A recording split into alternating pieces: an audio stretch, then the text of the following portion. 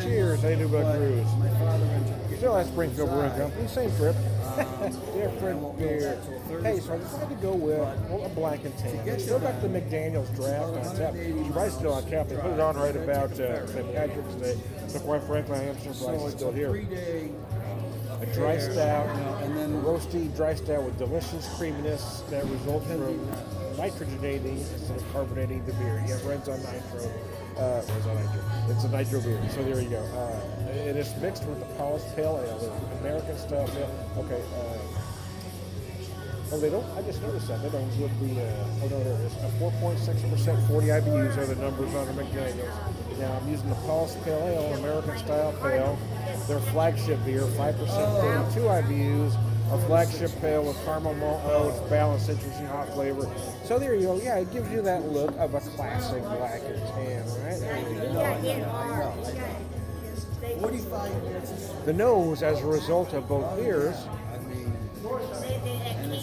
big and malty, big roasty malts. However, you do get that hint of citrus from that Paul's pale ale. You get that little bit of caramel malt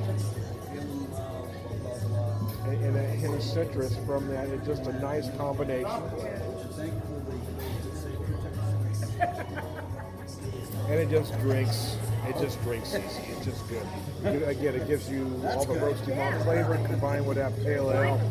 It's just a beautifully done uh, version of a black and tan. I mean, uh, so, apart from using the parson that you would use if you were in uh, in Ireland. I mean, for an American uh, group, uh, I don't know that I've ever had one better than this one right here. Sixty-one there in sunny.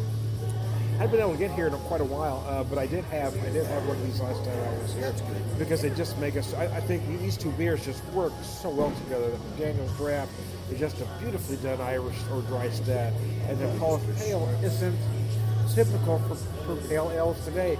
It was typical for pale ales back in about '97 when they opened here, and they really haven't changed the beer. So it, it just makes this black and tan taste like a classic traditional black and tan.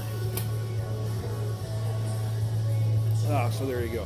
Gonna, I'm going to keep it short and sweet because I want to have a few more beers. Now it's time to beer for the evangelist, prolific drink, and preservative around. Good.